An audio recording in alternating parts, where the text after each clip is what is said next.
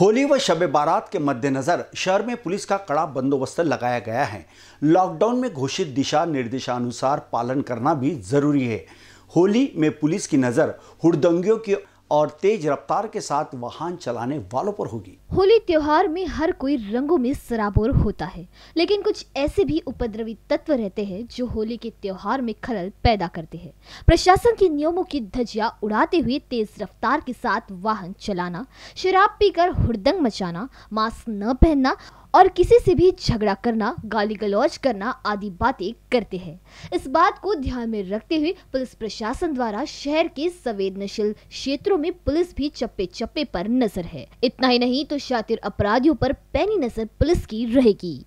दर्शकों, मैं आपको बता दें कि होली का त्यौहार मनाने वाले सभी दर्शकों को सबसे पहले हम ढेर सारी बीसीएन परिवार की ओर से शुभकामनाएँ देते हैं। अगर आप होली खेलते हो तो ज़रूर खेलिएगा, मगर हुड़दंगियों के लिए पुलिस प्रशासन पूरी तरह से तैयार है।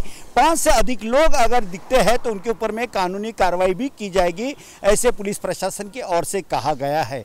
साथ ही साथ, जो लोग शराब पीकर कुछ हुड़दंग मचाते हैं या फिर तेज वाहन चलाते, तेज रफ्तार के साथ उनके ऊपर में भी कड़ी कार्रवाई की जाएगी।